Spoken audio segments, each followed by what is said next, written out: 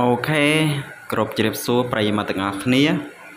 ត្រឡប់មកជួបខ្ញុំម្ដងទៀតជាមួយនឹងវីដេអូថ្មី ស្ដីអំពី Honda Scoopy Club 12បាទហើយនឹង Honda Scoopy Prestige បាទដែលប្រើសោធម្មតាជាមួយនឹង Honda Club 12គឺប្រើ Smart Key អ្នកនរគ្នាបាទហើយនេះគឺជា Honda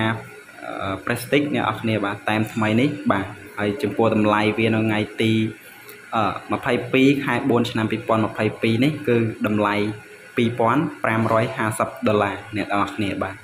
ហ្នឹងហើយអូខេហើយតម្លៃនេះគឺសូមបញ្ជាក់អ្នកនរគ្នាតម្លៃ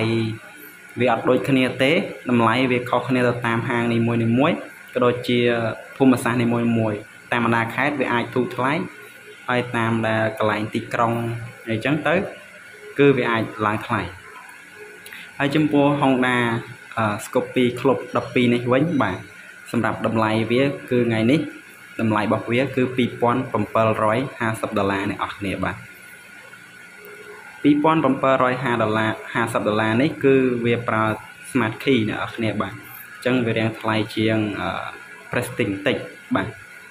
ហើយសម្រាប់ព័ត៌មានបន្ថែមអ្នកនរគ្នាអាចតាក់ទងមកសួរទីតាំងនៅខាងក្រោមអឺ description គឺខ្ញុំដាក់នៅ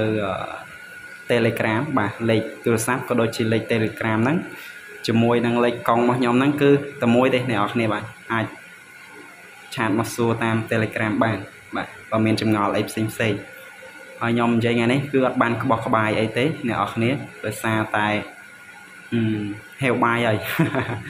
អូខេអ្នកនរគ្នាខ្ញុំសូមនិយាយតែប៉ុណ្្នឹងទេអ្នកនរគ្នាបាទសូមអរគុណ